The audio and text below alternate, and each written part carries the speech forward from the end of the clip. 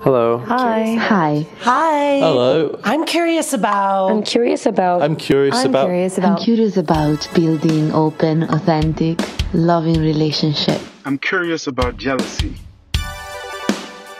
I'm curious about polyamory. Does it just mean that you're fucking all the time? How can I tell my parents that my partner is already married? I'm curious about. How do you know when you're too busy to have another relationship? I'm curious about dominant and subordinate relationships. I'm curious about sexual health.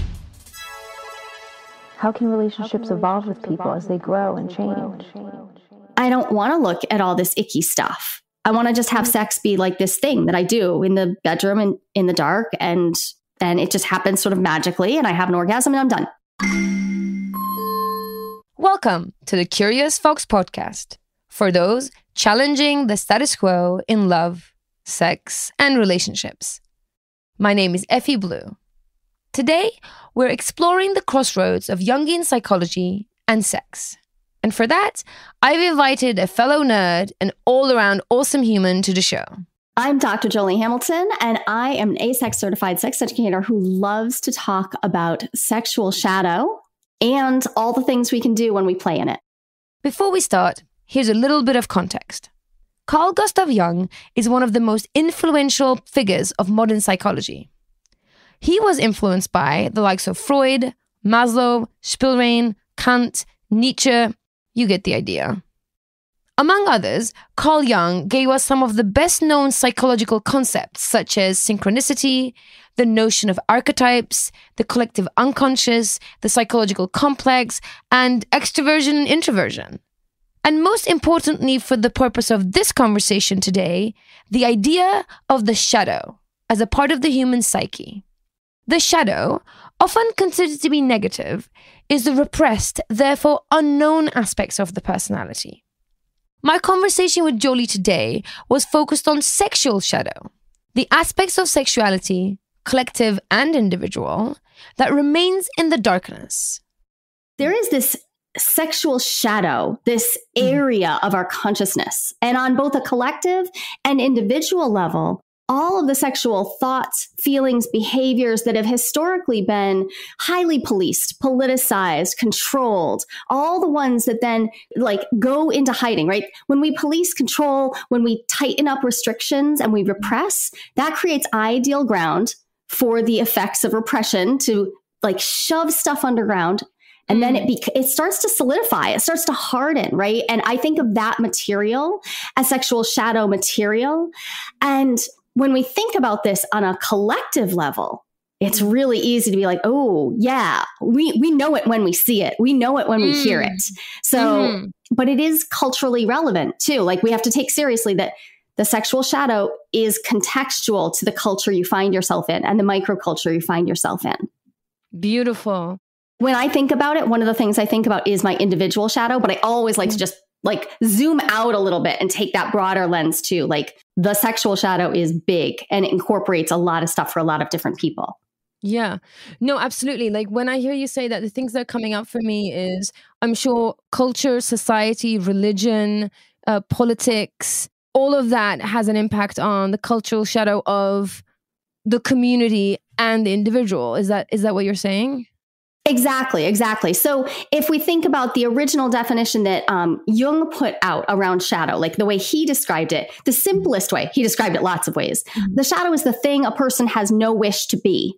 So if we mm-hmm. take that from from the individual level and we look at it as a cultural level, the sexual shadow holds all that which we cannot tolerate, we cannot hold in our collective consciousness mm-hmm. is what gets shoved into the shadow. So yeah, it's very contextual and doing the work to integrate it isn't just about ourselves. It's also about really working with the collective. And that's one of the reasons I think it's so important to talk about this.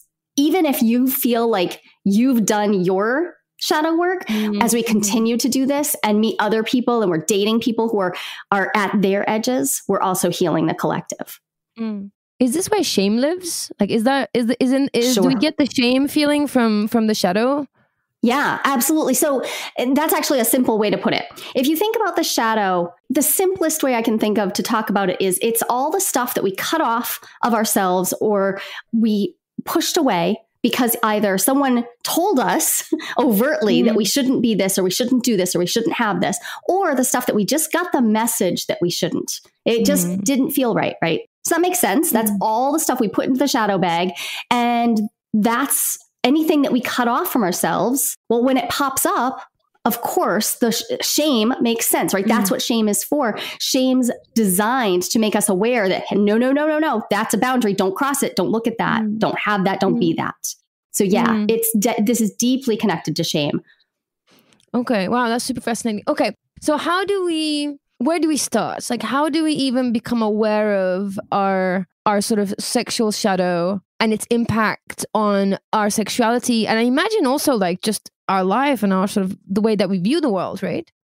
Right, exactly. It does have a lot to do with how we view the world. Well, you know, I think one of the first things people tend to focus on is when they hear the phrase sexual shadow, um, they think, well, is is working on sexual shadow does that mean i have to do kink do i have to practice mm. bdsm you know that that's automatically where a lot of people's imagination goes but i like to just just maybe quell that fear a little bit because the thing is kink and BDSM might be part of what's in your sexual shadow. And certainly they qualify as culturally, that's exactly where they mm-hmm. live, right? They live mm-hmm. at the edges, mm-hmm. at the periphery, or out of sight. But kink or is doing whatever you're doing when you're playing at your the edges of your personal taboo zone. So it's not like there's some sub, like objective list of behaviors that are shadowy. It's really mm. about is this something that lies outside of your awareness that you're starting to get a sense of like, oh, I want this. Maybe it's material that comes up in your fantasies, in your dreams, in your daydreams. Mm. Maybe it's stuff that you masturbate to. And here's the key it's the stuff that you would fantasize about, but you don't know what to do with. You feel some some concerns about what this what the role of this material is, mm. or mm. you're not sure how to play with it with a partner or partners.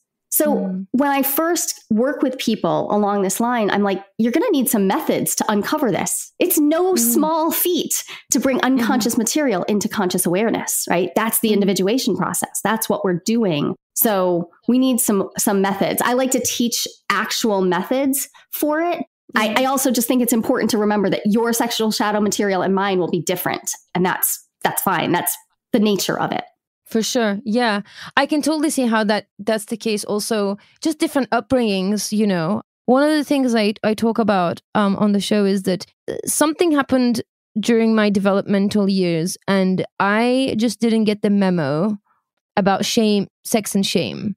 It's just it's one of those things. I got many memos about many things that I've had to work through for the rest of my life, but somewhere that memo got got lost and I never got it. So I have been I've just this like lottery, uh, this luck that I don't really associate shame with sex.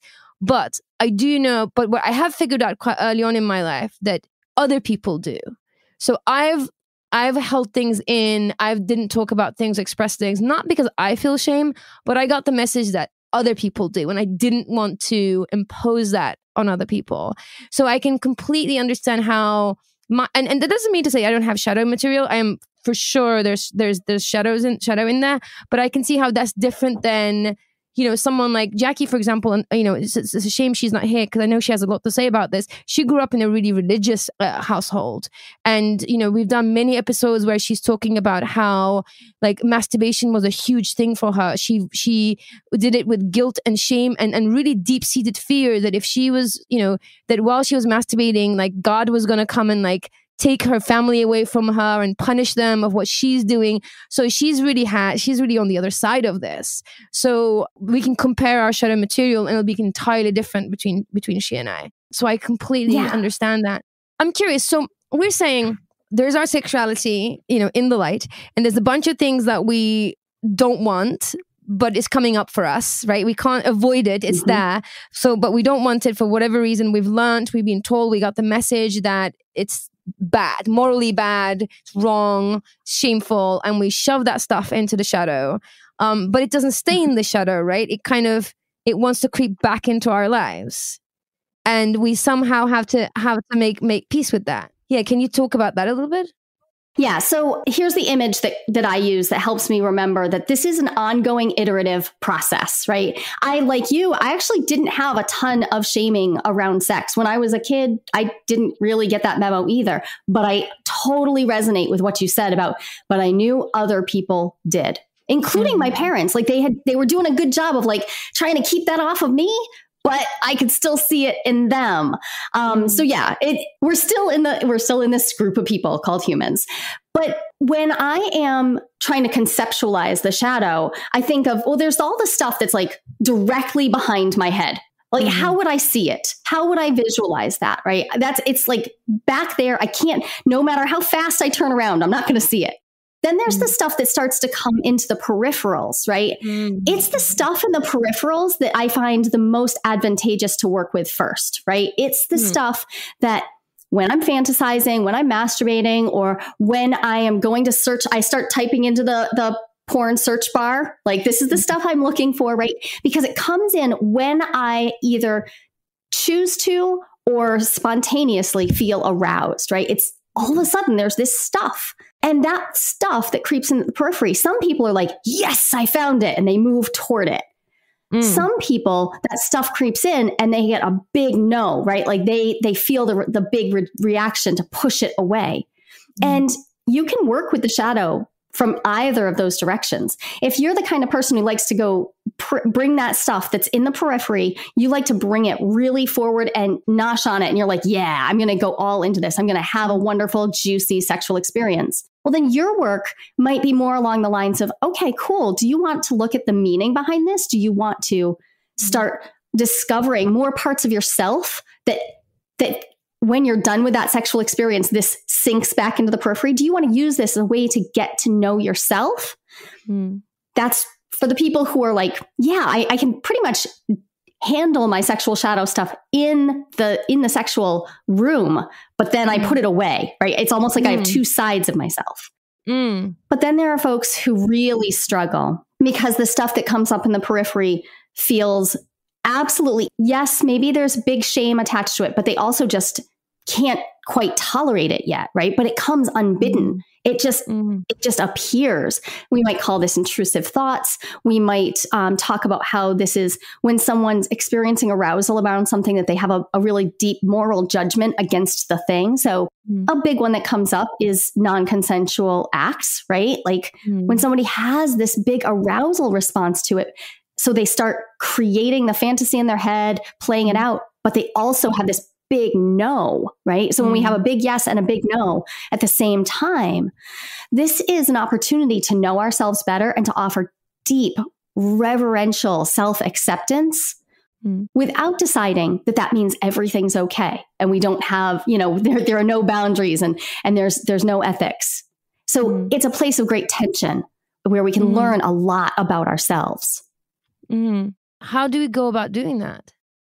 Well one of the first steps is to make space for it I. I think a lot of people imagine that like maybe they block off time for sex. I'm all for scheduling time for pleasure, Mhm. right? And this, whether this is solo sex, partnered sex, group sex, they're willing to block off some time for that. But a lot of times we block it off around the physical acts. Mm. And we forget to give ourselves margins to really allow ourselves to enter into our fantasy, enter into our psyche, and really be with our sexual material and our arousal material. Mm. And we forget to allow ourselves to have a debrief period as well, right? So mm-hmm. while everybody's calendar is limited, and I know that asking for time is actually like the biggest ask I could make, I think mm-hmm. it is integral to buffer out some extra time. So if you let's say I have a masturbatory practice and I know how to bang it out in 10 minutes and I'm and I'm good, if I can even just build 5 minutes in on either side of that, and mm. really give some thought to like what do i want to work on? What do i want what do i want to play with? What material has been exciting but maybe a little tender or scary to me? Mm. Um, what fantasy has come up but and it scares me. Can i hold that in a space of deep acceptance like radical acceptance right? Can i mm. maybe enter into a state of mindfulness and say so for the next 10 minutes i'm going to play with this and at the end i will hold this for myself. It's okay. My imagination is mine and I'm going to hold this for myself. Like, really create a container. Have your experience, enjoy the bodily pleasure that comes, let yourself go into it. And then maybe you reach orgasm or you come to completion in some way. Mm-hmm. And after that, allow yourself to either journal or voice journal, or if you're if you're lucky and you have access to this, share this with somebody else who's doing their sexual shadow work, right? It might be a partner, but it might also be a close friend, someone who's intimately connected with you in a different way. Mm-hmm. Share that with yourself or with another so that that material, what comes up, let's say I fantasized about a non consensual act happening to me, right? Mm-hmm. Well, what was behind that? What did i feel? What did it bring up? Did it bring up fear? Did it did i actually get more and more aroused? And if so do i want to explore what this what this has to teach me about control and where i might be feeling out of control or i might be wanting more control or and control is just one of the things that might be coming up mm. for you there. So in other words it's a place of great insight but we mm. need to build the space and the intentionality around it for it to actually offer insights. Otherwise, we run the risk of having sex be sex and the rest of our life be separate from it. And this mm. is really about building mm-hmm. a bridge for your psychological material.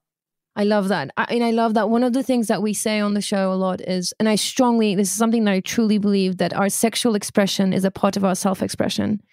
And I can't yes. say this enough. I, I, I I, I want to make t-shirts and, and wear this out out there because I think it's so important that we realize our sexual expression is a part of who we are and the way we show up in in the bedroom and I'm you know just yeah. throwing air quotes out there. We make joke of this all the time. But how you show up in, in your sexual expression is is how, how you show up in life.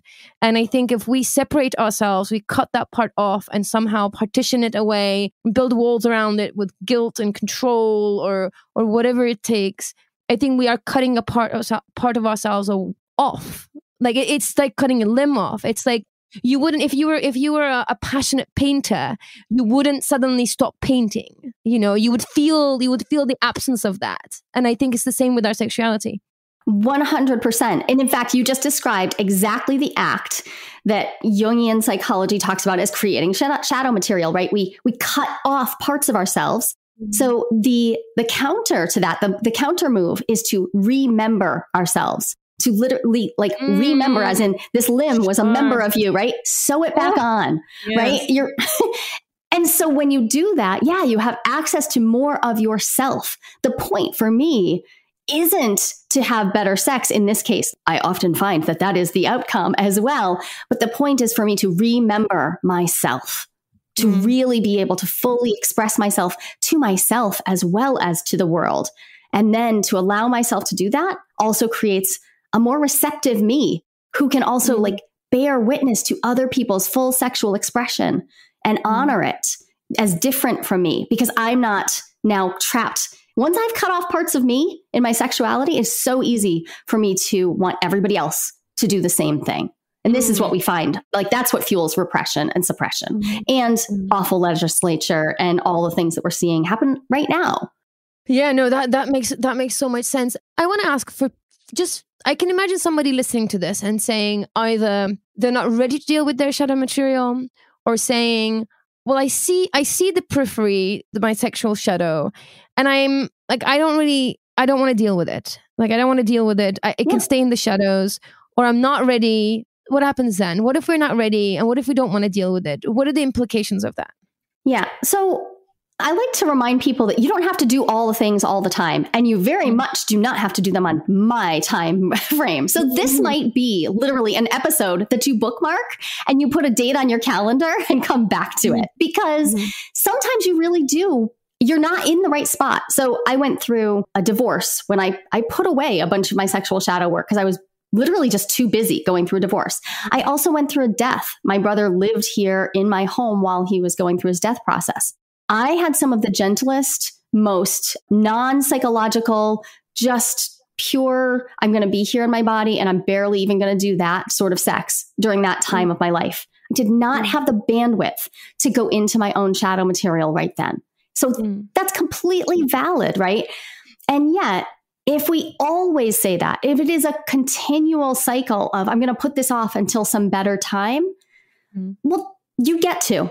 You are empowered to never do your shadow work.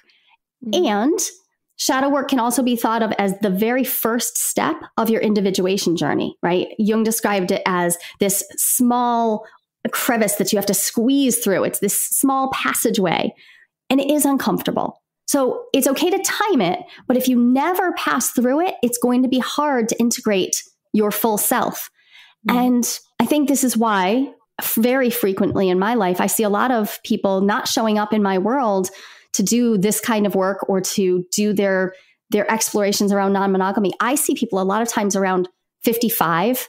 They're having like this last moment of like, oh, wait, if I don't do it now, oh, I'm actually going to run out of time. Mm. So it's never too late until it's too late. What I would say is you get to decide and don't put it off forever.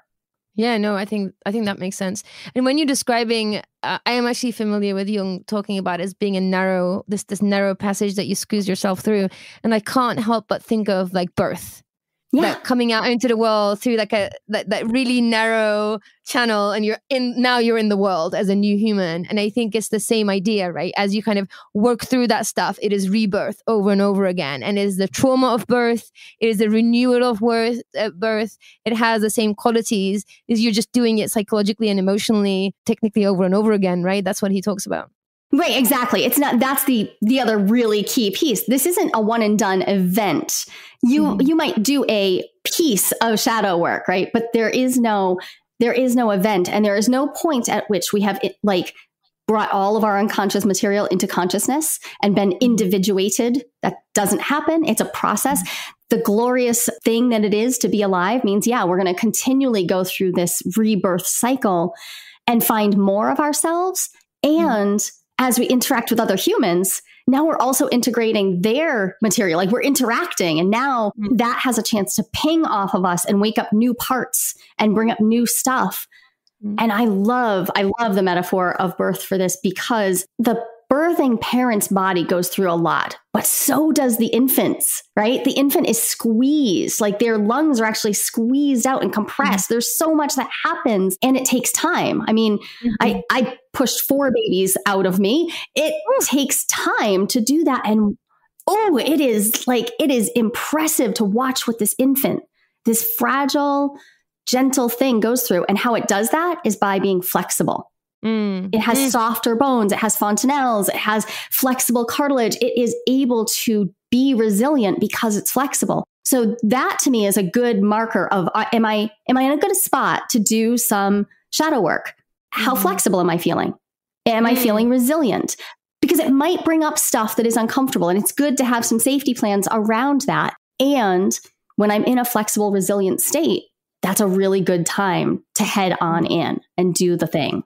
Yeah, no, I love that. I love that. I want to bring it home for a second, just to like really help people understand. So, for example, something that I would pick up as my shadow work, it's something that you mentioned also. So, this, by the way, I'm, I'm going to bring this up because I know this is so common. It's both so common and it's also one of the most shameful fantasies. And I know this because I've, like you, I've spoken to, I'm sure that you know this, dozens of dozens of people, rape fantasy. Rape fantasy is like, I think, prime shadow material, right? Yes and it's genderless like i've heard it from across the board and and i've heard most of the shame coming from women um because you know and and these women are they're like i'm feminist i'm a strong woman like it, it's kind of crazy like i i'm I don't understand why I fantasize about this. And, you know, I, have heard this and I'm very happy to, like, I have rape fantasies. Right. When I first sort of came to them, I was like, whoa, really? This is coming up for me? as I said, I don't necessarily go to shame. I do. I'm fortunate that I go to curiosity, and I'm like, what this? Like of all the things, this right? Rape fantasy. And I've sat with women who are like spent an entire session just squirming in in, in place to eventually in the like 40 minute mark going and like I think about rape as a you know as a as a fantasy, and I'm like, okay, this is where we are. So th- let's say that's that's coming yes. up for somebody. What does that look like? So I, I'm listening to the show, and I'm like I've been holding this in for years. And I know this is happening to people who are listening, by the way. So I hear you, I see you. And you're like, yes, like the idea of like being raped is somehow turning me on. And I'm not okay with that because I know that rape is wrong. I don't actually ever want to experience that ever. But somehow the thought of it is like arousing me. What now?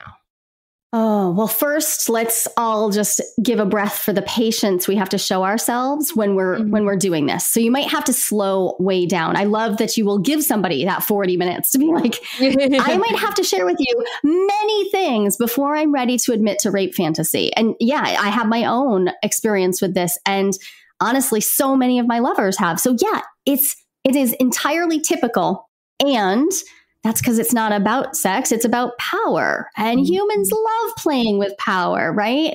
If you're struggling with this, I, I think that there are two things that can really help. One is, again, creating time with safe parameters to explore it outside the sexual container, right? Can I explore this with someone who can validate for me that these fantasies are typical and that trying to rid myself of them will only make them stronger and will only um, like disempower me from working with them and accepting that part of myself. And the other thing I do is I I mean I like to use I'm a bit I'm a bibliophile. I like to use words to help me remember like what something is for, like what an an experience is for. Mm-hmm. And what's coming up for me is around rape fantasy is perverted, right? Like this idea, like mm-hmm. this is so perverted. This mm-hmm. I feel perverse, right? And as soon as we enter that word, we're like, oh my gosh, now it's even worse.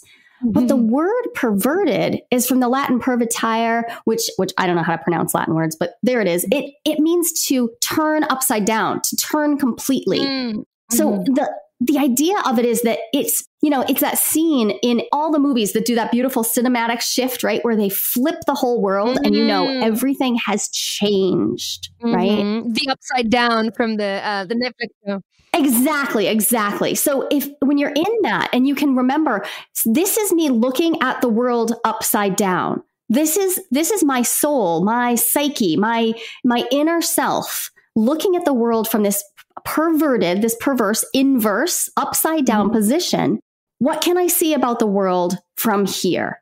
What could I see, for instance? And this is one of the ways I've been working with it. Everybody take it or leave it. What can this tell me about rape culture? What can this help me understand about what's going on under the surface, where beyond the part where we say, of course, we don't want this to happen. Of course, it's negative.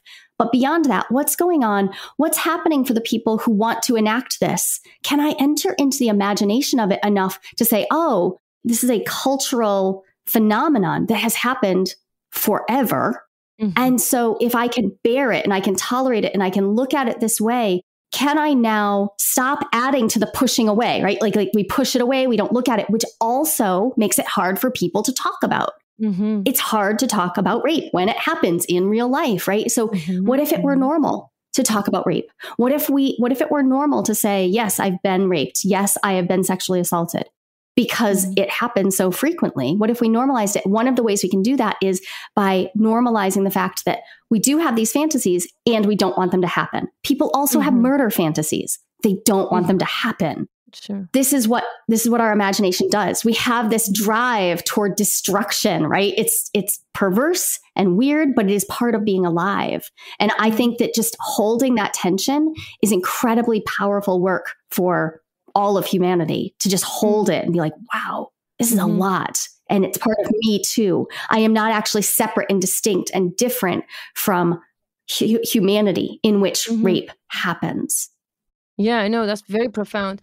I mean, it's incredibly pro- profound. I think that that shadow work in general, I think, has that power. And I think when you bring it down to this like sex, specifically sexual shadow, that's where some of our darker stuff lives, right? And if we can just come to right. terms with that darker stuff, then we can pull it out into into the light out there in the world is what I'm hearing, and it, it feels very profound. It feels very um, empowering, actually. So suddenly, something that you feel very shameful about, something that scares you, confuses you, suddenly becomes insight, kind of something powerful, something uh, empowering. So I can like totally right. see how shadow work can unlock a bunch of things. Unlock. Yeah. Yeah. So more access to self is what I'm generally going for here. And, mm. you know, another way that shadow comes up is we project our shadow material onto others. Right. This mm-hmm. is, in fact, that's the first method I teach people mm. when I'm, when I'm working through a process. I'm like, tell me what you hate about your mother-in-law. Tell me what you hate about mm. that high school bully who just drove you crazy, right? Tell me what you hate about them. Because if we look there into that projective material, we can find our own shadow. And in doing so, again, we humanize and we start to come back into relationship with that part of ourselves, at Mm-hmm. which point we may be able to interact with these other people in life in a more productive way, Mhm. which doesn't mean we have to accept all their behavior. Good Mhm. gracious, no. Um, but it absolutely means that if I am able to interact to some degree because I feel empowered and I feel grounded and I have not shamed or cut off from myself, now I'm going to be more productive in the conversations I have with these people. So just working with your projective material, like what am I Mhm. projecting onto others that I could find in myself, reclaim, and the sexual shadow, like you said, it's a super powerful, it's like a subset of shadow material. Mhm. And Sure. yeah, it is where the gnarly stuff goes to hide out. I mean, Freud got a lot of stuff wrong, but I don't think he got that wrong. Yeah, no, you're right. is, like- yeah, we do this, right? Yeah. Repetition compulsion's a thing. Yeah. So Yes. let's just keep an eye on it. yes, for sure. Like darkest corner of the like matte dark, that swallowing blackness that just like swallows everything up. That's where that stuff lives for sure. Yeah. You know, the thing that comes up for me uh, also how we beat ourselves up about our thoughts because these are essentially all thoughts, right? Imagination and thoughts that are coming up in, in our in our brains. And I am currently so I I was living in the US for you know 12 years where freedom of speech is a, is in the constitution. It's an important part of the american life. And now i'm currently living in a country that actually has thought crime. So you can go to prison for thinking thoughts and writing like if you think them out loud you write them out loud you draw them right? In, in any way. So thought crime is a thing in the country that i live in. So you get jailed for thinking thoughts which to, you know to the, to the americans to the europeans you're just like what that's crazy but hearing you talk about shadow work, it actually makes me think we kind of do that to ourselves. We punish ourselves for the thoughts that we're having because we're not dealing with the shadow stuff. Okay, we're not explicitly putting people in prison, but we're kind of putting ourselves in prison and we're kind of punishing ourselves for some of those thoughts, right? Absolutely. And I think this is an important part to point out is Uh, from a depth psychological perspective, the imagination is real.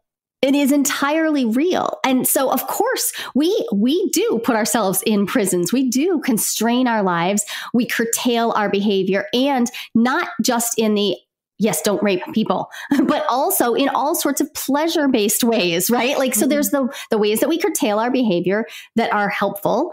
And then there are billions of ways that we make our lives smaller and put our, imprison ourselves.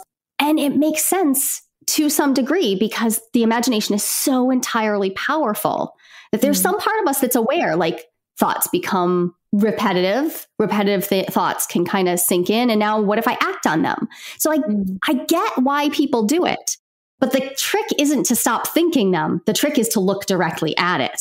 Mm-hmm. and there's a big difference. There's a big difference between letting something just continually burst through from the unconscious to conscious right? Like just it just pops through like the kool-aid man bursting through a brick wall and we just keep letting that happen there's a big difference between that and sitting and holding sacred space for these perverse, mm. ugly, icky, tentative, like, oh, I don't know whether I want to sit with it sort of thoughts. Those are 2 mm-hmm. very different actions. One leads to empowerment, the other does lead to continual re imprisonment.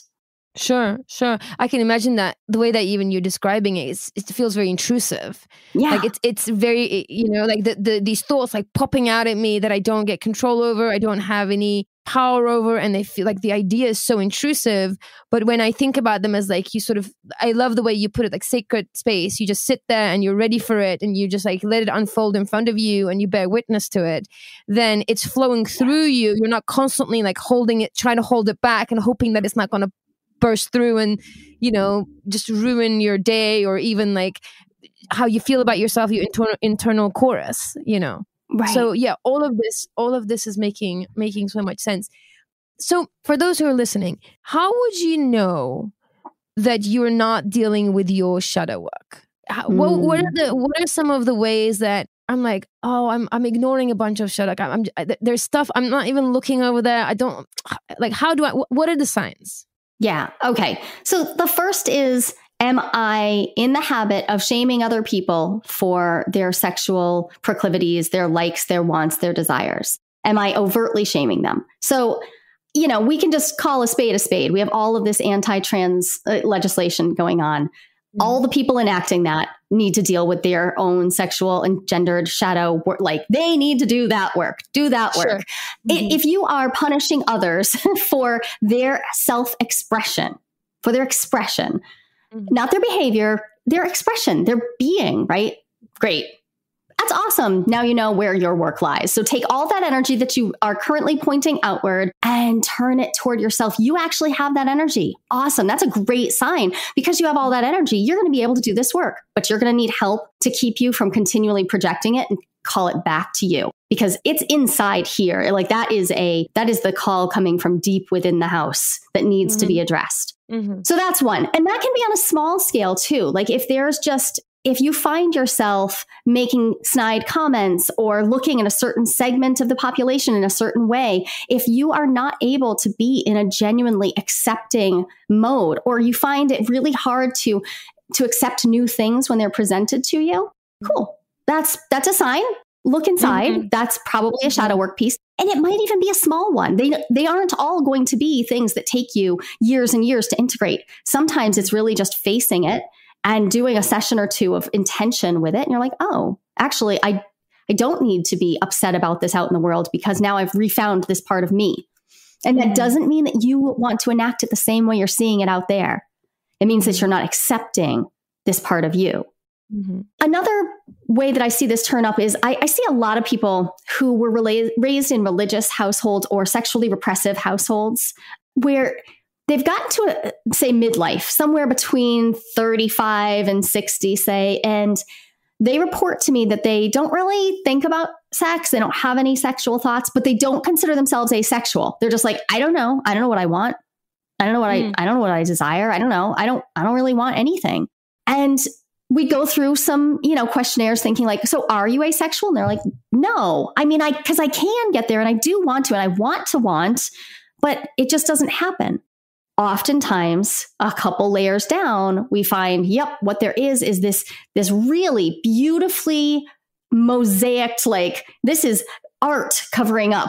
like they have created such a bubble around all of that material, all of their want and desire and shadow stuff that it looks beautiful. And they're like, no, there's nothing to see there. They're just, they just look at the bubble and they never look past it. So we have to burst it. And it's hard. At first they mm. they find like they go out into the world and they're like, I don't want to look at all this icky stuff. I want to just have mm-hmm. sex be like this thing that I do in the bedroom and in the dark and and it just happens sort of magically and I have an orgasm and I'm done Mhm. when we burst that bubble, out comes a lot of stuff that isn't mm-hmm. fun. Doing that mm-hmm. kind of shadow work usually means dealing with how we interacted with our parents and our community when we were children, what we put into there, like really dealing with it and coming to grips with the fact that we've lost time. People Mm. often put off doing the shadow work because when they finally do it and realize that they have more access to themselves, and my own anchor partner is struggling with this right now, they're integrating this material and they're like, I'm 56. Why did I wait so long? I've wasted time. Of course, it's a it, it- that doesn't help anything. We have to go forward. We can't try to get that time back. But I find that if people are saying like, "Eh, I'm just not going to do it," often there is this la- this resistance to facing the fact that there is something there. Mm. There is more of them that they want to have, and some people will sort of will themselves to continue sleeping Mm. just not deal with it because it's painful to imagine. Yeah. It's an existential crisis to face.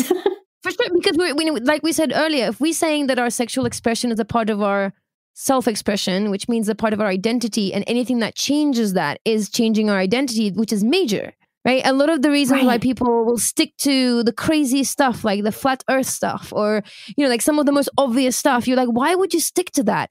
And you listen to that, you listen to what they're saying, and you understand their life, and soon you realize, oh, this is not about the shape of the Earth. This is about your identity. Like you've identified with something so deeply any change in this in, in, in this idea it's going to have an effect on your identity and that's why you're holding on to it so so hard on some level intellectually you know the world is round and you like we can show you all the pictures in the world we can take you up on you know a spaceship and show you the planet until you deal with the fact that it's a part of your identity and you have to let go of that part it's not going to integrate. And I think it's a similar idea. I think sex is so part of our identity, whether we like it or not dealing with that stuff is going to cause internal shifts of like cataclysmic internal shifts most of the time to our identity, to who we think we are. So of course it's hard work, you know, like bursting that bubble. Even when you're describing it, like I felt for some people, like I felt it, like I, I felt tension in my stomach, like woof, that would shake someone's inner world, you know. Yes. Yeah, it does.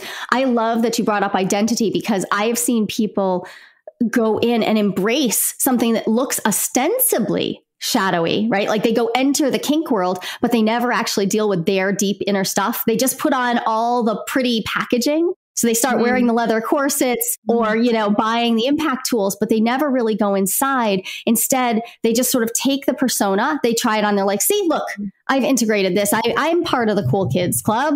And they forget that there are these deeper layers that have nothing to do with the regalia, nothing to do with that. Mm. They're in your really deeply felt personal identity and knowing yourself that way. I mean, clothes might help you get there but they aren't going to be the end. If the if the last step was buying the paddle, you missed the point. Mm. You missed the point. Which is sure. awesome because it means there's more of you to know right now. And yeah. creating community can really help you make space for a new identity. So that's where I think, like, even so, listening to a podcast like this and then involving yourself in sex positive communities where it's natural to talk about this stuff becomes part of that shift. I can shift my identity by shifting who I spend time with. Absolutely. And and I think it's just worth worth exploring period. To grow to really be fully you, I think it's worth exploring for sure. I, I want to like, talk about exploring. I want to explore something quickly. So you said this at the beginning as well. You said a lot of the time when we talk about sexual shadow and people understand what we're talking about, immediately immediately they go to kink, they go to BDSM, kind of they go to that place. My guess is that also we were saying, you know, it's different for everyone. I just want to kind of expand that view a little bit. I can see how something like very intimate, slow, connected, you know, sex being shadow material for somebody. Because the idea of that kind of intimacy being right be, being like so much that it kind of gets pushed into the shadows. Or i can see like i just want to expand that idea of shadow work so people can really dig in. It's easy to say oh it's kink it's bdsm it's spanking it's rape fantasies. Like that's easy to figure out. But i think there is like stuff that you wouldn't necessarily think immediately would be in the shadow work. Can we name a few of those things yeah, well, you named one of my favorites. Let's I call it the candlelit the candlelit sex fantasy, right? Hmm. Because I this is this was my big like my big first piece that I was like that can't be a thing. It's literally not shadow work. I'm talking about wanting light and positivity and wanting connection and wanting to look in someone's eyes. How could that be shadow work? But I spent all of the time up until my mid 30s, all the time. So when I started having sex at 16 till my mid 30s, so about 20 years, thinking I didn't like kissing and I didn't ever want to have touchy feely like gentle, fun, like I'm connecting to you on the deepest possible, making love. Mm-hmm. That's it. Ooh. That even yes. that phrase. Oh, the phrase. I was like, nothing will turn me off more. Mm-hmm. And it's because it was in my shadow areas. I had cut that stuff off. It wasn't accessible to me. I didn't find it access early on in life. And so I just decided to say, that's not me. That's not, that's mm-hmm. not me. Mm-hmm. I don't like that stuff. Fast forward to my mid 30s and a different partner and a different relationship structure. And I found that part of myself, and I was so profoundly ashamed of it that I couldn't admit it for two years. For two years, I wrote about it in my journal and couldn't bring it to my partner because the partner who I was like repeatedly having sex with and, and could have potentially, you know, two years. And even then, once I did, I still felt this profound shame around mm. wanting to try making love like mm-hmm. that. And it sounds, I laugh even now, but I know that I'm not the only person who de- deals with this. Whatever you've cut off fits into this category. Mm-hmm. And when we reintegrate it, it doesn't mean like my primary persona is not now as a person who wanders through candlelight love story sex. That is not it. But I do have the capacity now because I've remembered it. Mm. Another thing that I see people do is put on this idea that they don't want gentle touch. Like right, they're mm. like they're really into spanking or smacking or like like mm. hard touch or hard mm. thrusting, right? And I've seen this for across genders. Like I only like powerful stuff. Now I'm a high sensation person myself, but to not be able to tolerate gentleness points to unreflected material. Also, unreflected nervous system material, right? So there's the bodily piece we have to deal with too. Like mm-hmm. there is embodied shadow work as well as the stuff that lives in our neurosynaptic connections. So mm-hmm. any place that you are finding yourself cut off from, or you, if you make a face about it when you see it in a movie, mm-hmm. awesome. Write that one down. If you if you make a face about it, it's worth exploring. Yes, yes, for sure. Yes. And exploring doesn't mean that you now do it, right? I think that's something else. Let's, let's clarify that as well. It doesn't mean you now go and, you know, enact everything that you've thought about or, you know, live out every single fantasy. That's not what we're talking about. We're talking about processing it. We're talking about facing it, sitting with it, letting it come through us, let it like diffuse its power and kind of move on, right? Right. Well, this is where, again, the imagination is real. So mm-hmm. you can use that power, the the realness of your imaginal aspect, your imaginal capacity to process, to work through. You don't have to literalize. In fact, literalizing a lot of shadow material actually just kills it. It like we're like, mm. oh, I don't even want that. And I also don't necessarily want to move on from all of it. Let's mm. I'll take myself for example here. I actually now entertain my my rape fantasies and my non-consensual fantasies in a very different way than I used to. So I, they used to be repressed. I didn't want to deal with them. Now I have processed them so that I can play at the edge of that, right? If I want to. The same with the making love fantasies. I can mm. play at the edge of it. I can play with it, but I don't have to literalize it, right? Like I mm. don't have to go to a BDSM campground and actually literalize it for myself to play with it in my fantasy and in my sexual experience or my mm-hmm. mas- masturbation. Mm-hmm. And that the, there are other pieces of shadow work that I might want to process and truly work to let go of and say I don't I don't actually think this is part of my innate being. I think I've been holding it, carrying it because I've been pushing against it so hard. And some mm. of that stuff just releases. And this is again though, now we have to be willing to process something, not experience it and let it go. And a lot of mm-hmm. people find that to be the most complicated piece. How do I let it go? What is that? I, that makes me want to make air quotes too. Like, how do I let it go? Mm-hmm. It might keep coming back, right? I, I mm-hmm. might have to continually practice entertaining and then letting go. Yeah, yeah. Something that c- comes up uh, for me with a lot of this work, when I start working with a client, one of the things that I I ask for them to do just during the period that we're working together, I ask them to to meditate, and we can. It could be the most simple meditation we can find a YouTube. You know, if they want guided, um, a YouTube guidance meditation thing or an app, like it doesn't have to be complicated. It's just like sit your ass down for ten minutes um, every day while we're doing the work, like six weeks, 10 weeks, whatever we decided we're going to do, and then journal the in, in the evening. So like morning and evening. This is just a practice as a part of the work that we're doing together. And one of the, the reasons why I say meditation, it's not spiritual, it's not anything other than it's like wax on, wax off. It's this watching your thoughts, letting them pass, watching your thoughts, letting them pass. It is the foundation for so much work that you do in personal development, healing, self knowledge, anything that you do in the world, this idea of just sitting, watching your thoughts, bear witness, and letting go is is such an important muscle. And that's why meditation kind of makes sense. Like I, I'm the most pragmatic scientific person. My meditation, I have to admit, like it definitely has evolved into more of a spiritual practice. But when it started, I was like, this is wax on, wax off. That's like if I just it's like gym. Just like I take myself to the gym every day, sit down, and I like it's a thought gym, it's, it's a mental gym, you know. And when I hear you talk about that stuff, it's that. It's like it's that muscle that we use to like watch it come up, honor it, acknowledge it, letting go. And it's the same thing over and over again. Right. And simply having the awareness that this is a thing that's going to come up for me. Like, yeah, it is. Over time, you practice that. You have, you do that muscle training, that mental muscle training, mm-hmm. and then you make yourself aware of one of these little seed, like seeds of something. It's like, it's that grain of sand, right? You let it be really in your awareness. And those mm-hmm. two things in tandem, like that is, that is the core of basic, everyday, mundane shadow work. I mm-hmm. make myself aware, of what is in the periphery coming out of the unconscious. And then I allow it to pass through, pass by, because I am not my thoughts. But we do have to practice. I love that you have people make this a, a clear practice because it's not easy. And I find people often around sexual issues, especially, like they'll only work on them when they want to have sex. Mm. And that's not enough. We actually need to take this out of the, like you said, air quotes, bedroom and bring this into, yep, you're integrating more of yourself. This is about your full self expression, capital S self.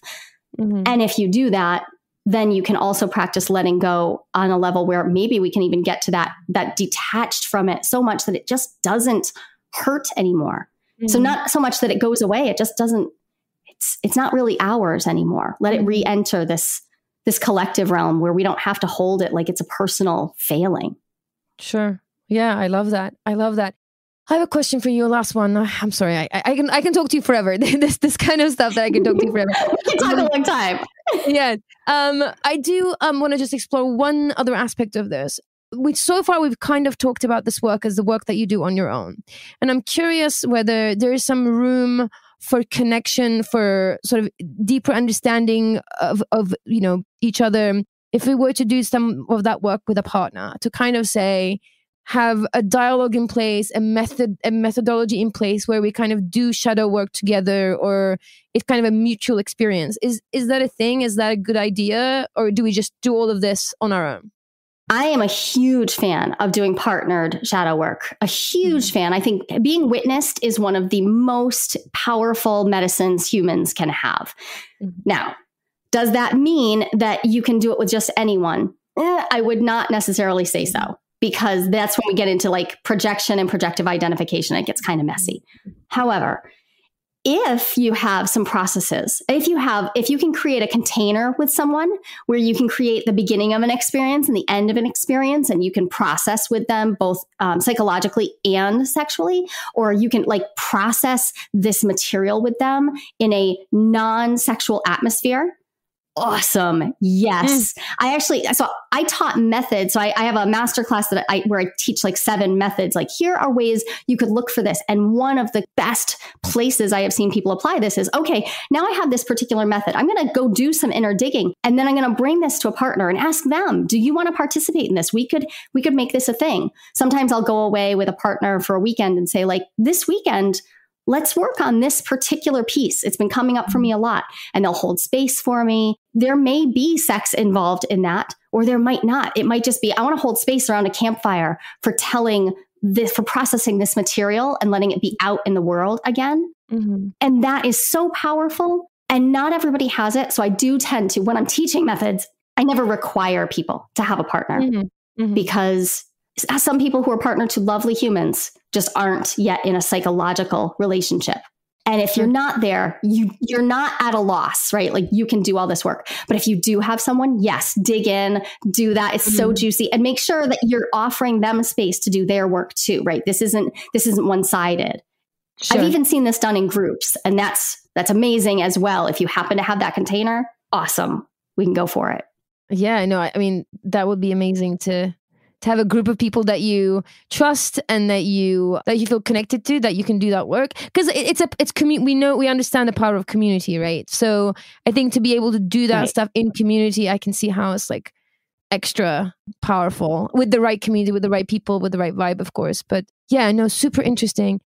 So before we transition Joli i want to ask is there anything that we haven't covered that you think it's absolutely essential that we mention Well, I guess there are two little things, um, Sure. which is that there are parts of our life where shadowy material comes up. And 2 Mm-hmm. of them that I see happen a lot for people in my world, and I guess I'm guessing they would in yours, are jealousy and new Mm. relationship energy. oh So yes I treat both jealousy, I treat both jealousy and new relationship energy as specifically opportunities for shadow work. That's how I teach about them. That's how we talk about them because these are aspects of being a human that show us the shadow, even though we don't necessarily want to see it. Right. So when Mm. jealousy comes up, that is an indicator, right? That I have unreflected material. I'm not yet fully aware of everything that I need and want, or I haven't been able to create safety for my for my parts. There's, th- I mean, we could go so deep into that. New relationship energy too though. Like this is a place where we can start to look at where do i lose myself? Where do i fall away from myself? Where do i start creating fantasies? And this is another aspect of oh i may be creating fantasies that allow me to touch my sexual shadow without really being deeply in touch with it. So those are big topics. I cover them mm-hmm. when i'm working with people in like full year programs but mm-hmm it's important to notice like it's not all about sex and it's not all about the obvious places where you'd be like that's going to be sexual shadow material. It's also mm. in all of these twisty dark alleys where we're like we don't necessarily deal with these topics well. If we don't deal with a particular topic or phenomenon well it probably has a shadow element to it. Mm. yeah that's super fascinating. I kind of my mind just just bounced in all all the different directions. Jealousy, I I get right. Jealousy is kind of almost obvious why that would live in the shadow and how it's activated by shadow material. That I I, I completely get. Also, we know that jealousy occurs when we perceive a significant threat to a significant relationship, right? So the significant threat piece, threat stuff lives in, in the shadows anyway. So I completely get that part. And I had never thought about a new relationship energy containing shadow material, but I also, I, I totally get it now. You put it in that way. It's also an amazing distraction it's right, it's amazing. It. It's like it's rich ground for for for fantasy and escapism and avoidance. Like it, I can totally now see how that shadow material like is seeps in there, and you don't even realize. Ex- that is exactly it. And when I frame it this way for people, and I say, "Oh, it's an opportunity to look at shadow material from both sides. Also, when my partner is in NRE, my shadow material may become very obvious right then, mm-hmm. right? Like all of these ways that I have not communicated my needs or that I am not able to hold space for my partner. There's just so much juiciness in that. And we mm-hmm. tend not to think about those those aspects of NRE. We tend to think about the like the the highs, like the big peaks. Right, for sure. But it has its shadow side, as anything that's high will have its low. For sure. Absolutely. Absolutely. I love that. That's so fascinating. So, uh, Dr. Hamilton, thank you so much for coming on the show once again. I already can't wait to have you back. And I really, really appreciate your time and your insight. Mm, thank you so much for having me, Effy. It was a genuine pleasure. So exciting. For more information on Dr. Joli Hamilton and to get free ebooks on jealousy, reigniting your sex life, getting what you need from your relationships, and more, Visit her website, listentojoli.com. You can hear her and her anchor partner, Ken, on their podcast, Playing with Fire, or you can visit her on Instagram and Twitter at Dr. Joli underscore Hamilton. If you want to share your experience with jealousy, ask for resources, and connect with other Foxy listeners, head to Facebook and join our Facebook group at We Are Curious Foxes. You can also jump onto Patreon at We Are Curious Foxes to hear the embarrassing jealousy story that I shared on a previous episode about an instance that left me creeping outside the window of a restaurant while my wife was on a date. To hear that Patreon extra and to find mini episodes and after hour conversations and over 50 videos from educator led workshops, you got to go to Patreon at We Are Curious Foxes. And did you know that we have a jealousy and compersion section on our website? Visit us at wearecuriousfoxes.com to find podcast episodes, blog posts, book recommendations that give you the resources that you need to navigate through jealousy and find the lessons that can help you get to know yourself and your partners better. If you enjoy our episodes, we would love for you to subscribe to the show on Apple Podcast or to follow us on Spotify and Stitcher. This tells the podcast guides that this content matters and extra bonus points if you rate the show and leave a comment so that others know the kind of impact that the show has had on you and your relationships. And finally, let us know that you're listening by sharing a comment, story, or question. You can email us or send us a voice memo to listening at wearecuriousfoxes.com. This episode is produced by Effy Blue and Jacqueline Misla with help from Yamur Erkishi. Our editor is Nina Pollock, with whom we have the most significant relationship. Our intro music is composed by Dev Saha. We are so grateful for their work, and we're grateful to you for listening. As always, stay curious, friends. Curious Fox podcast is not and will never be the final word on any topic. We solely aim to encourage curiosity and provide a space for exploration through connection and story. We encourage you to listen with an open and curious mind, and we'll look forward to your feedback. Stay curious, friends. Stay curious. Stay curious. Stay curious. Stay curious. Stay curious. Stay curious.